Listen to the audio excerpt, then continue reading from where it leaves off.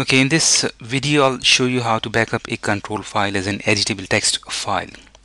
Control file in Oracle database is a binary file which is one of the smallest yet most important files and because it is a binary file it is not possible to look at the contents normally.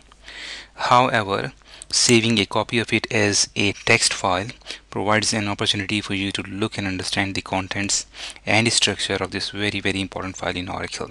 It is a good practice to backup a control file after making changes to the structure of a database. For example, adding a new data file or a table space. And then it would be even better if you save this file as a text file with a trace file. And then you can uh, have a look at the contents of it. And you can simply use the SQL Plus command line interface to make an editable text copy of a control file. In this example, I'll choose a location of my own choice and then I'll open the text file with the help of a text editor and I'll try to save it on my desktop somewhere here. And of course, you can uh, backup control files regularly in a default location.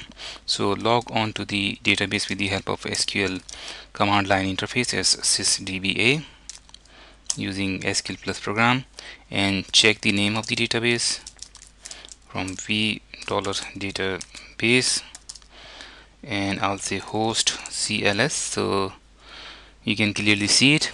And I'll say alter this is the command alter data database backup control file to trace as single quotation C drive backslash users backslash acer backslash backslash desktop and backslash name of the file. I'll say ctlbk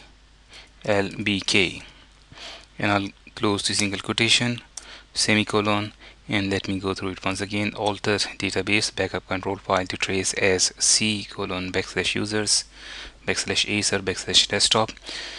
And this is the name of the control file ctlbk and I'll enter database altered and this is the control file backup the control file as a text file. I'll try to open this and open with I'll say notepad. And you can examine the contents of this control file if you want to. There's a lot in it and it's a good practice to try and understand how it works. Thank you very much